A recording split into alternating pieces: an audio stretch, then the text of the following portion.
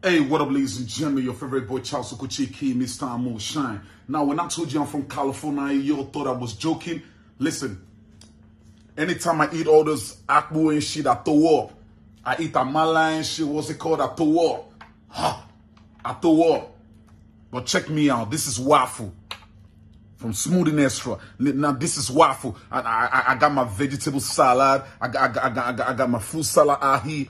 The, the yogurt and shit. This guy, I kind of line California. Anytime I eat all that apple, I throw up. I'm lying. I throw up. Now, if Jay-Z see me eating this shit, this is what's up. That's how kind of line, man.